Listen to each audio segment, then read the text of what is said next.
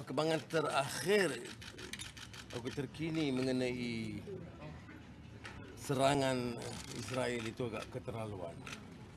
Uh, Saya juga um, turut mengulangi beberapa kenyataan yang telah dibuat dan juga mendukung beberapa kenyataan dari setengah pimpinan negara luar yang menyatakan kesal dan mengecam pengeboman hospital di Gaza. Apapun dituduh siapapun maknanya ini kesan dari serangan dan perang. Sebab itu kita kata sebaiknya hentikan. Ya. Ini masa untuk kita redakan keadaan dan hentikan. Kalau teruskan ini mangsanya wanita, anak-anak, pesakit. Ini sudah sampai ke tahap gila dan hilang peri kemanusiaan.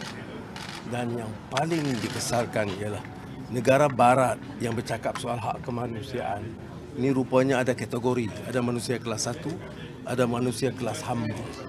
Dan ini yang kita bantah sekeras-kerasnya. Tapi sekarang ya ada uh, tuduhan pelbagai, saya tak kira. Saya pokoknya hentikan kegiatan.